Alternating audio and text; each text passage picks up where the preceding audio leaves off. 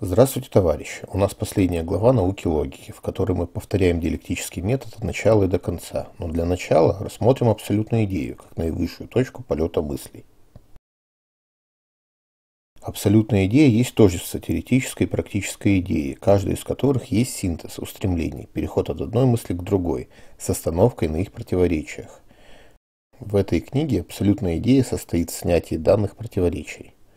Абсолютная идея, как понятие, обладает личностью с объективным понятием, основанным на познании, представляющим из себя истину. Пример. Если абсолютная идея – это личность, достигшая объективности в результате познания окружающего мира, то разумный человек способен быть объективным, если станет изучать реальность и сможет стать носителем абсолютной идеи. Или говоря вульгарно, каждый человек способен не просто познать истину, но и идею, согласно которой она появилась, или даже больше. Человек способен познать абсолютную идею того, как и почему появился наш мир. Философия – это способ постижения абсолютной идеи путем логических построений. Познание мира при помощи метода, способом познания через рефлексию в нашем разуме. Когда с одной стороны у нас находится объект изучения, а с другой субъект его изучающий, необходимо добиться тождества понятия субъекта с объектом им рассматриваемым. Переход от абсолютной идеи к природе происходит посредством единства чистого понятия и реальности.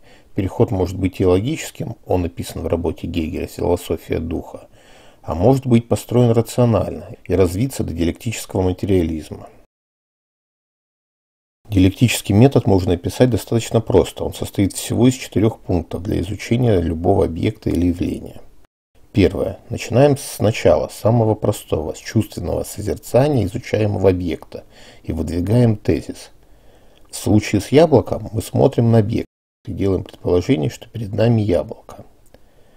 Второе. Проводим отрицание тезиса, то есть выдвигаем антитезис. Примере с яблоком мы выдвигаем предположение, что перед нами не настоящее яблоко, что это может быть что-то другое, например, пластиковый муляж. Третье. Проводим второе отрицание отрицательного и их соотношение между собой. Анализ и синтез тезиса с антитезисом.